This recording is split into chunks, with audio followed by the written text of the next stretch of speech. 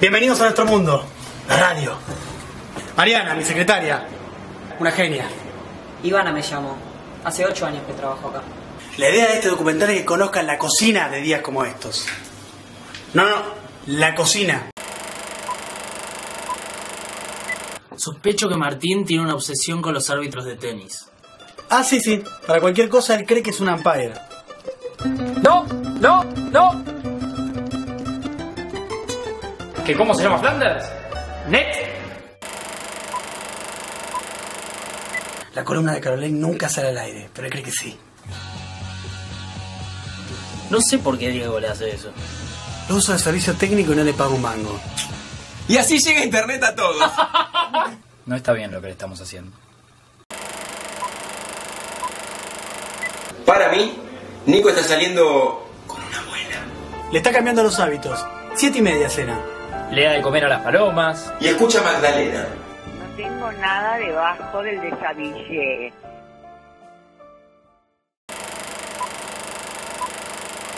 Los desubicados entran al estudio como si entraran a la cancha, no entiendo.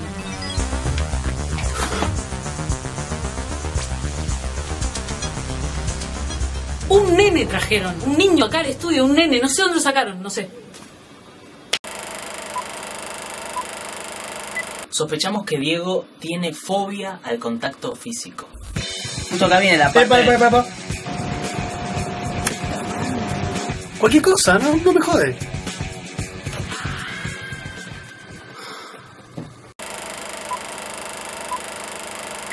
¡Tengo una nueva sección! ¡Genial! Un oyente que llama a la radio y tiene que levantarse en vivo un amino, un flaco y en un momento le tiene que preguntar ¿Hay cabida para comerse? Perro de la calle, da para darte, ya está hecho. Ok, otra, el personaje de una gorda que da consejos mientras come helado. Ningún gobierno nos condiciona con la publicidad. ¡Qué bueno que está Buenos Aires, Dieguito! Decimos lo que pensamos. A vos que estás ahí escuchando, no temen, porque no transamos.